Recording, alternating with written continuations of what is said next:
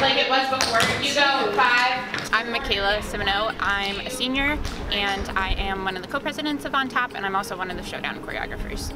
I'm Amanda Stackmaster. I'm a senior. I'm the marketing director and I'm also a Showdown choreographer. Showdown is a really special time for us, especially because we're a fairly new dance team on campus. I think that everyone on our team comes from such different backgrounds that having the opportunity to put so many dancers on one stage and have everyone be at one level and have a performance experience like that all together is something that's really, really special. Showdown is my favorite event of the year and um, I always hope that we go as close to the, to the beginning as possible because I want to see every team dance. Uh, we're so proud to be a part of this dance community and that's what I hope the other teams yeah. feel as well.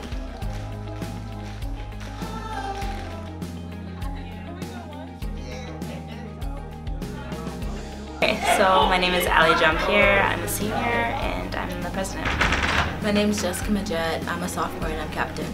The YouTube video a, an event in which we can like really show all like the hard work that we put into our performances and like what's special about PATU is that everyone on the dance team like choreographs their own work so it's just, like it's really exciting to show it to everybody. Get Be pumped. Hyped. Yeah. Be hyped because we are so nervous up there yeah. and it's just it, I can't express how like down we feel when people don't clap or like yeah. hype us up. We're just like, oh, like, yeah. what are you doing? yeah.